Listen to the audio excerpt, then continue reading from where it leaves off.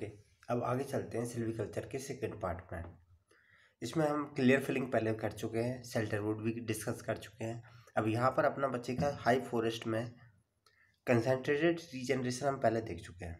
अब हमें देखना है यहाँ डिफ्यूज रीजनरेशन डिफ्यूज में हम जनरली सिलेक्शन सिस्टम को देखते हैं सिंगल सिलेक्शन सिंगल ट्री और ग्रुप सिलेक्शन इसके साथ साथ यहाँ पर बचेगा कॉपाइस सिस्टम और यहाँ जो हाई फॉरेस्ट का है तो यहाँ पर सिलेक्शन सिस्टम और इसका एसेसरी सिस्टम और इसके अलावा जो अपना बचा है पुराने वाला कोपाई सिस्टम वो। तो यहाँ पर तीन सिस्टम इसमें अपन इस लेक्चर में पढ़ लेंगे।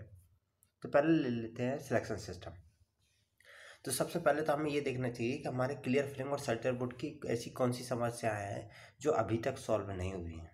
तो पहला तो ये है कि अभी चाहे वो क्लियर फिलिंग हो या सेल्टर बोर्ड ये अभी भी नेचुरल फॉरेस्ट से बहुत लंबे रहे हैं। अभी तक वो दूरी है अभी भी ये इनकी कंडीशन बिल्कुल नेचुरल फॉरेस्ट जैसी नहीं रही। क्योंकि कहीं ना कहीं आर्टिफिशियली है। दूसरा है हिली टोपोग्राफी क्लियर फिलिंग तो हंड्रेड परसेंट फेल्योर है और सेल्टर वुड जहाँ आप अगर एक हेक्टर में पच्चीस से पचास पेड़ के बीच में अगर छोड़ भी देते हो, तब भी वो काम नहीं होता है। आप खुद ही कंपेयर कर लो, पचास पेड़ अगर एक हेक्टर में लगा दो तो क्या होगा? पूरे ज़मीन तो तब भी ओपन है। तो हाई फॉरेस्ट भी ये जो सेटलवुड सिस्टम है, वो भी हिली टोपोग्राफी पे लगभग फैल है पूरी की तरह। यही वजह है कि एक एग्जांपल आपको क्वेश्चन आया कि क्यों साल साल फॉरेस्ट जो है, वो पहले जो सेल्टरवुड में था यूनिफॉर्म सिस्टम में था, वो फेल्योर होने के बाद उसे दूसरे सिस्टम में लेके आए। इंडियन रेगुलर सेल्टरवुड सिस्टम में। रेगुलर जो है मीन सेल्टरवुड सिस्टम का जो लास्ट पार्ट है, वो कहीं ना कहीं सिलेक्शन सिस्टम के पास का है। ये ये बोल सकते हैं कि उसी का एडवांस फॉर्म सिलेक्शन सिस्टम आ गया। तीसरा इशू है रीजनरेशन का। ऐसे पेड़, खासकर कॉनिफर्स जो 25-25 साल रीजनरेशन में ले लेते हैं 25 साल उनकी रीजनरेशन एक्टिविटी पे काम करना बहुत पैसा खर्च करता है। क्योंकि एक्चुअली काम तो ज़्यादा कुछ होता नहीं है, लेकिन आपको लेबर फॉर्म मेंटेन करने के रहना पड़ता है। तो ये इन्वेस्टमेंट बढ़ा देता है और इन्वेस्टमेंट बढ़ गई तो समझ लो। खाली पीली का अपना पैसा बर्बाद होना है। और लास्ट है मार्केट डिमांड अब सपोज़ आप ये इस टाइप की एक्टिविटी कर रहे हो डीप हिमालय में मिड हिमालय में। वहाँ पर उस टिम्बर की मार्केट डिमांड है नहीं। मार्केट डिमांड है यूपी में। तो आप वहाँ से एक्सट्रैक्ट करके यूपी तक लेके आओगे तो ये ये भी इशू है। मीन्स आप फॉरेस्ट से उतने ही एक्सट्रैक्ट करो जितनी आपकी मार्केट की डिमांड है। उससे ज़्यादा एक्सट्रैक्ट करना भी अपने लिए एक सॉल्यूशन प्रॉब्लम ही खड़ी करेगा। क्योंकि उतनी ज़रूरत नहीं है। अगर आप ज़्यादा ले आके आओगे तो उसके प्राइस घट जाएँगे। ओके तो चलो पहले देखते हैं हम सिलेक्शन सिस्टम को। तो आपको बोला हाई फॉरेस्ट सिस्टम का ही है अब इसे क्यों बोला? इसे डिफ्यूज रीजनरेशन क्योंकि अब आपने क्या किया? कि जैसे अपन क्लियर फिलिंग सिस्टम होता था, यहाँ पर पिक्चर आपको जो क्लियर फिलिंग सिस्टम में जो एनुअल कूप दिख रहा है, वो क्या है? आपने पूरे फॉरेस्ट का एक स्पेसिफिक एरिया ले लिया था, जिसको आपने कट किया था। लेकिन यहाँ पर एक्चुअली हम वही समस्याएँ दिख रहे हैं कि आपने एक स्पेसिफिक एरिया ले लिया, लेकिन अब हम कोई एरिया सेलेक्ट नहीं करते हैं। अब पूरा जंगल अपने अपने काम का है। यहाँ पर सिलेक्शन सिस्टम में दो टाइप के होते हैं। एक होता है सिंगल ट्री सिलेक्शन और दूसरा होता है ग्रुप सिलेक्शन इसे इतना सिंपल ले लो। अब अपने लिए एक हेक्टर का एक एनुअल ग्रुप काम का नहीं है। अब अपने पास पूरी पूरी जो टेन थाउज़ेंड हेक्टर का जो अपना पुराना प्रॉपर्टी चल रही थी वह बस वही है। अब अपने पूरे एम्पायर में खड़े होंगे सुबह सुबह घूमने जाएँगे और ये देखेंगे कौन सा पेड़ एक्सप्लोरेटेबल डायमीटर को कवर कर लिया, जिसने पकड़ लिया, उसी को निकाल लिया। मतलब यहाँ पर हम एक एक पेड़ को निकालेंगे और वो भी पूरे से, पूरे जंगल में से, जहाँ से मतलब कोई भी पेड़ जो उस डायमीटर को कवर कर लेता है, उसे उखाड़ लेते हैं। तो यहाँ एक एक ट्री उखाड़ते हैं, इसलिए उसे बोलते हैं सिंगल ट्री सिलेक्शन लेकिन अगर सिंगल ट्री ना करके इसी इसी वर्क को अगर ग्रुप में किया जाए। जैसे आपने एक, आज एक वैली नंबर पाँच पकड़ी, वहाँ से आपने डेढ़ दो सौ पेड़ों को निकाल दिया। फिर वहाँ रिजनरेशन करना शुरू कर दिया। अगली साल आपने वैली नंबर थ्री पकड़ ली। किसी दिन वैली नंबर कोई दूसरी पकड़ ली। इस टाइप से आप उनको नंबर दे करके पूरे पूरे ग्रुप में उस एरिया के पेड़ों को निकाल रहे हो। लेकिन ये क्लियर फीलिंग जैसा क्यों नहीं है? क्योंकि यहाँ भी जब आप पेड़ निकाल रहे हो तो केवल वही निकाल रहे हो जो एक्सप्लोरेटेबल डायमीटर को कवर कर लेते हैं आपके। मीन्स कुछ थोड़े बहुत बच भी जाते हैं। और इसका जो एरिया है, जिसे आप रिमूव कर रहे हो, वो ना तो पहले से फिक्स है और ना ही बहुत बड़ा होता है। और ना ही ऐसा है कि आपने एक हेक्टर का इस साल निकाला, अगली साल भी एक ही हेक्टर हाँ ऐसा नहीं है। तो पहले देखो, इसमें सिंगल ट्री में देख लेते हैं। तो जब आप एक एक पेड़ निकालोगे तो पैटर्न ऑफ़ फिलिंग क्या होगा? भाई एक एक पेड़ निकाल रहा है पैटर्न ऑफ़ फिलिंग में क्या निकालोगे आप? Mode of regeneration hundred percent naturally होने वाला है और क्रॉप तो हंड्रेड परसेंट मिक्स होगी। क्यों? क्योंकि सभी एज की है और ऑब्वियसली आपने सभी स्पीसीज का मिक्स कंपोजिशन भी ग्रो किया होगा। क्यों? क्योंकि मार्केट डिमांड केवल एक ही स्पीसीज की तो नहीं होगी ना अदर की भी होगी। और फिर जब ऐसी कंडीशन है तो आप ये चाहोगे कि वो साइट बेटर प्रोटेक्ट हो साइट क्वालिटी बेटर एक्सप्लॉयट हो और मार्केट में सभी टाइप की वुड जाए, जिससे डिमांड एक स्पीसीज की ज़्यादा नहीं होती, लेकिन सभी की थोड़ी थोड़ी होती है। तो इस टाइप से आपको बेटर वैल्यू एडिशन मिल जाए। ओके तो क्रॉप क्या हो क्रॉप का कंपोजिशन कैसा होगा? सब, सभी की सभी एज हो, सभी एज के फॉरेस्ट होंगे, यानी कि hundred percent uneven aged forest होना है। तो इस टाइप के फॉरेस्ट को हम बोल देते हैं जनरली सिलेक्टेड फॉरेस्ट या सिलेक्शन फॉरेस्ट अब इसके एडवांटेज डिसएडवांटेज और एप्लीकेशन होगा, ये डिस्कस करने वाला अपना मुद्दा नहीं है, क्योंकि ये लगभग मिक्स क्रॉप है तो मिक्स क्रॉप के जो एडवांटेज होंगे, वो इसके एडवांटेज है, उसके डिसएडवांटेज इसके डिसएडवांटेज है, और हम इसे क्यों लेके आए? क्योंकि क्लियर फिलिंग वाला जो इशू था, उनके जो इशू चल रहे थे क्लियर फिलिंग के, उन्हीं को तो सॉल्व करने के लिए हम इसे लेके आए। तो उसके जो क्लियर फिलिंग के जो एडवांटेज होंगे, वो इसके डिसएडवांटेज होंगे, जैसे उसमें मैकेनाइजेशन यूज़ किया जा सकता है क्लियर फिलिंग में, यहाँ कर पाएँगे? नहीं। क्लियर फिलिंग में टिम्बर की क्वालिटी ज़्यादा होगी। मतलब स्पेसिफिक क्वांटिटी जो आपकी टारगेटेड डिमांड है, वो बहुत ज़्यादा प्रोड्यूस होती है। यहाँ पर हो पाएगी? नहीं। बट टोटल वॉल्यूम यहाँ ज़्यादा होगा। तो जैसे फुडर है टिम्बर जो मीन्स फ्यूल वुड टाइप का प्रोडक्शन है, वो यहाँ बहुत ज़्यादा होगा। तो इसे ऐसे समझ सकते हो कि जो क्लियर फिलिंग और सेल्टर वुड की जो उनके एडवांटेज हैं, वो कहीं ना कहीं यहाँ डिसएडवांटेज हो गए। और उनके जो डिसएडवांटेज थे, उनको रिमूव कर दिया और यहाँ वो उसके एडवांटेज हो गए। और एप्लीकेशन कहाँ करेंगे? सीधा सा मुद्दा है इसका एप्लीकेशन क्लियर इसका सिंगल ट्री सिलेक्शन का, हम जनरली हिली रीजन में करते हैं।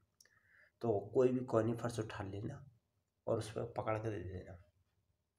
ठीक है? क्योंकि देखो, यहाँ पर कभी ट्री कैनोपी ओपन नहीं होती है। तो यहाँ पर सेट डिमांडर या सेट बेरे ट्री भी इजीली आसानी से ग्रो कर सकते हैं, इसलिए कॉनिफर में कोई भी पेड़ हो सब में लगेगा। ओके दूसरा होता है ग्रुप सिलेक्शन जैसे इसमें आपको दिख रहा है कि पहला एक फॉरेस्ट का पैच था, उसमें एक ग्रुप को कट कर दिया, फिर दूसरा ग्रुप कट कर दिया, यहाँ पर थोड़ा ग्रो होने लगी और यहाँ फिर तीसरा कट दिया। तो इसमें एक एक ट्री ना कट के ग्रुप में कट किया जाता है, इसलिए इसे बोलते हैं group selection pattern of felling क्या होगा? ग्रुप में काट देंगे। फॉरेस्ट कैसा होगा? अनइवन एजेड होगा। हाँ ग्रुप में आप जहाँ रीजनरेट एक साथ किए उससे वो छोटे से पैच को भले ही जो सौ मीटर बाय सौ मीटर का मान लो मीन्स एक हेक्टर का है या आधा हेक्टर का है, वो भले ही आपस में अनइवन एजेड वो भले ही आपस में इवन एजेड हो, लेकिन अगर ओवरऑल देखोगे तो वो अनइवन एजेड ही होगा, क्योंकि उसमें भी दूसरी स्पीसीज उसी होगी रीजनरेशन के टाइम पे। तो मेजोरिटी तो अनइवन ही होना है क्योंकि सीड वहाँ केवल वही नहीं आई नेचुरल रीजनरेशन है ना। और नेचुरल रीजनरेशन में किस किस स्पीसीज के सीड वहाँ पर आकर के ग्रो कर जाएँगे, किसी के हाथ में नहीं होता कंट्रोल नहीं होता। है तो वहाँ पर कोई भी आकर के ग्रो कर लेता है तो हंड्रेड परसेंट मिक्स क्रॉप होनी है, और क्रॉप हमेशा अनइवन एजेड ही होनी है। क्यों? क्योंकि आप इवन एजेड वाले जो जो डिमांडेड टिम्बर थे, वो तो काट लेगा बकाएगी जो बचेंगे, वो तो अनइवन एजेड ही क्रिएट करेंगे। ओके फिर इसके भी वही एडवांटेज डिसएडवांटेज एप्लीकेशन किसके? ग्रुप सिलेक्शन के। तो मुझे नहीं लगा कि इसके वैसे तो नोट्स में आपको मिल ही जाएँगे, लेकिन आप बेसिक समझ सकते हो कि जो मिक्स क्रॉप के क्या होंगे, वो इसके हैं। और जो जो उसके एडवांटेज थे सिंगल ट्री के वही ग्रुप के होंगे। बेसिकली दोनों क्योंकि एक ही कंपोनेंट है। ओके आगे चलते हैं। तो यहाँ पर वापस किया गया है कि एडवांटेज ऑफ़ सिलेक्शन सिस्टम तो मैंने यहाँ पर केवल इसलिए एक्सप्लेन किया कि क्योंकि कई बार होता है कि मैं बताते समय भूल जाता हूँ। जो बताना था और वो फिर बाद में याद आया तो पॉसिबल नहीं हो पाता कि मेंशन करो, क्योंकि आगे भी बढ़ना होता है। तो एडवांटेज देख लो कि हम जैसे हमारा जो अभी तक रास्ता चल रहा था क्लियर फिलिंग उसके बाद आया हम सेल्टर बोर्ड और फिर उसके बाद आया सिलेक्शन तो वही जो मैंने आपसे पहले बोला कि all disadvantage of previous system are the advantage of this system and advantage of previous system are the disadvantage of this system जैसे पुराने में सॉइल इरोजन और विंड थ्रो वगैरह की जो कंडीशन थी नेचुरल रिजनरेशन उनका नहीं हो पा रहा था। सॉइल को एफिशिएंटली बनाने वाली एफिशिएंटली यूटिलाइज नहीं कर पा रहे थे। वो सब के सब यहाँ पर हो रहा है। वो हिली रीजन के लिए सुटेबल नहीं थे, वो सब के सब यहाँ हो रहा है। लेकिन उनमें जो एडवांटेज थे, वो यहाँ पर बिल्कुल नहीं मिल रहे हैं आपको। ओके जैसे मैंने बताया था मैकेनाइजेशन है फायर प्रोटेक्शन रीजनरेशन और सर्विलेंस अब सर्विलेंस की बात कीजिए तो एक बात बताओ वहाँ पर पहले वर्क चल रहा था, एक हेक्टर में कोई इंजीनियर था या कोई भी बंदा था जो डी एफ़ ओ है, वो वो एक एक हेक्टर या दस हेक्टर जो एक ही जगह एरिया में रीजनरेशन वर्क चल रहा है उसकी सर्विलेंस आसानी से कर सकता है। या दस हज़ार हेक्टर में कहाँ पर रीजनरेशन वर्क कर रहा है कौन कंट्रोल करेगा? एक आदमी की औकात नहीं होती कि वो पूरे कंट्रोल कर सके या पूरे पर ध्यान रख सके।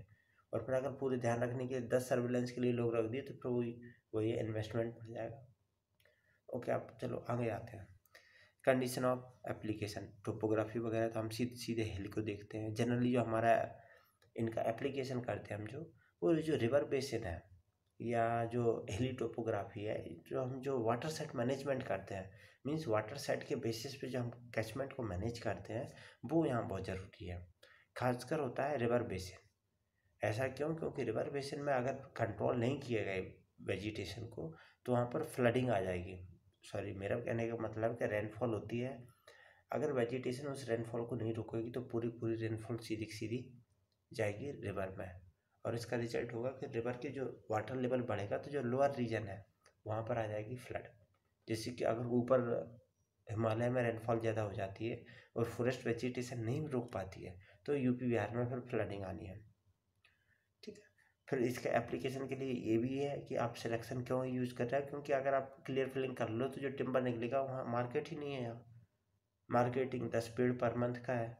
तो आपको उस हिसाब से करना है तो सिलेक्शन ही एक दस पेड़ दे सकता है आपको। हज़ार पेड़ क्लियर फिलिंग का करके क्या करोगे? वही मार्केट की हाँ एक बात और। मार्केट की रिक्वायरमेंट मार्केट कई बार एक स्पेसिफिक साइज़ के टिम्बर चाहिए होता है। तो आपको वही देना है, कुछ भी नहीं पकड़ा सकते हो सर इसके बाद अपना आता है एसेसरी सिस्टम तो ये तो ख़त्म हो गया। एसेसरी सिस्टम देखते हैं। ये है क्या? हमने इसे हाई फॉरेस्ट के अंदर इसलिए रखा क्योंकि इसका जो प्रोडक्शन या रीजनरेशन है वो कहीं ना कहीं सीड के थ्रू हो रहा है। लेकिन ये एसेसरी को अलग क्यों करा? क्योंकि ये एक्चुअली पुराने जो हमारे तीन सिस्टम थे, उनमें कहीं बैठ नहीं रहा।